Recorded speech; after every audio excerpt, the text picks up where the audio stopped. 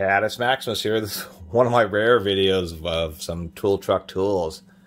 These are the Mac Tools two-piece spring-loaded or spring-type hose clamp vise kit.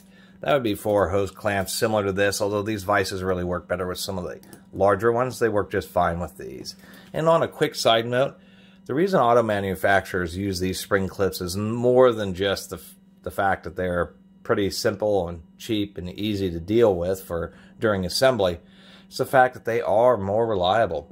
One of the reasons and issues with hose clamps such as this, you know, even nice worm drive hose clamps with a liner or even T-bolt hose clamps is say on a radiator hose, the hose goes over a, uh, a neck, the hose clamp goes over that, but as it heats up and then it contracts, as the radiator say heats up, expands, and then contracts, these hose clamps are rigid. They don't go anywhere. So what ends up happening is the hose gets slowly crushed each time and then the hose clamp starts getting loose. It's really a big issue. The thing about spring-loaded hose clamps is they're able to expand some when the parts expand and then able to maintain constant tension when they contract. They actually are reliable. And on heavy-duty trucks, like on radiator hoses, they use T-bolt hose clamps like this, which are spring-loaded to give you the same effect. These hose clamps are often found in very tight spaces, so that's the idea with these Mac hose clamps. This is the two-piece set. I only paid 20 bucks at a pawn shop. I thought that was a reasonable price. They retail for, I think, around 60 $65 for this two-piece set. They also have a third three-way hose clamp or hose clamp vise that has a, a real specialized corrugated jaw that really works, I think, even better than this style. But how these work, this style right here has a 10 millimeter hex, billet aluminum knob. How they're held together is these are just two pins that are turned down so that each of these plates, which are forged steel plates, go on each end and then there's a little nub. And so the bolt itself is what's holding it together. And then these two pins not only provide stability, but they're providing keeping the spacing this way. So one of these things you might use. So most times you'll use this jaw right here. They do have, if you look, little stops, and those just prevent you from damaging the jaws from over clamping. And really, it's pretty, these things are really just about as simple as you get as you get them onto the hose clamp, and then say this is now next down next to an engine, you just put that on there, use a 10 millimeter hex, and then clamp this down quite a bit and then you attempt to work the hose clamp or the hose with the clamp and the vise all at once, work it off of there. And it actually works pretty well, holds up. You don't have to use a lot of force. The reason they have a hex, you can just do it by hand, but of course they have a hex so you can use tools with it, extensions, that type of stuff. And so we just have a short one and a long one. They're pretty not they're pretty self-explanatory. They do use a set screw to lock the knob onto the threaded shaft, so it's not going to fall apart. They also have these side clamps just for, and I assume these are for the super tiny vacuum hose clamps, spring-loaded clamps. Those are just the little tiny microscopic ones so that the little tine can fit right in between there.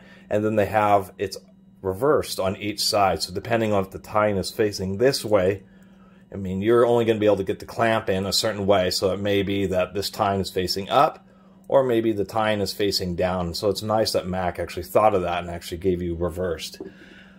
The only caveats I'd say about these is, well, one, they're an okay price because I think the retail on these Lisles that I reviewed a long time ago, Napa sells these also under their own house brand, I think Napa Professional 900 series or something. But these are the Lisle style and they're just a little bit more compact. You can really see that here. Now, the Mac gives you more versatility because of the wings, but of course the wings also make it quite a bit wider. The other thing I was noticing is they don't have any notches in these jaws, and now these Lisles here have these little notches, and the whole point to that the notch is just to try to catch this some part of the hose clamp once you have it screwed down so that if you're trying to actually slide the spring-loaded hose clamp up the hose or just off the fitting, it, makes it less likely that the whole hose vise will slide off the clamp and making you have to repeat the process. Kind of wish Mac would have done that. The other thing is I do like this thumb wheel, but I think they should have just made it a little bit taller and then just had a quarter inch plug, just like these Lisles do, because I think that's a lot easier to deal with, is just to take any quarter inch and just put it right into the, clamp, rather than having to have a tool, find a 10 millimeter socket, of course, since these are, of course, 10 millimeters, so that you have even more chances to lose that 10 millimeter socket because you're using these in tight and confined areas of the engine bay. And uh, inevitably your socket will fall off and then you have to go back to the Mac truck and buy another 10 millimeter socket. I'm just being a little facetious there, but I did like the fact that the Lisles do use just a uh, square drive rather than having a hex drive. And surprisingly enough, even with the Lisle doing that, the knobs are still a little bit more compact than they even are on the Mac. Besides that, Mac tools, even though they are expensive, they really are pretty nice. I mean, this one has a little bit of play in it, but it's not too bad. But the manufacturing quality is, of course, top notch. This is just all CNC machine, CNC knurled, so the knurling is essentially perfect. The forging on all the, the components of this clamp, you know, they look absolutely perfect. Um, there is no doubt that at least you're getting some nice looking tools nowadays from uh, Mac when you pay their prices. You shouldn't put a ton of torque on these. I was about the last thing because you can see how this one has had just a some issues there where it's really worn, where somebody was clamping something pretty darn stiff. But that is one of the handy things about these is not just for using not just for using them with hose clamps, but there are just certain types of situations where if you just you just need a couple of hooks, something where you're trying to pinch two edges together to get a bolt started or get them close enough to get a bolt started.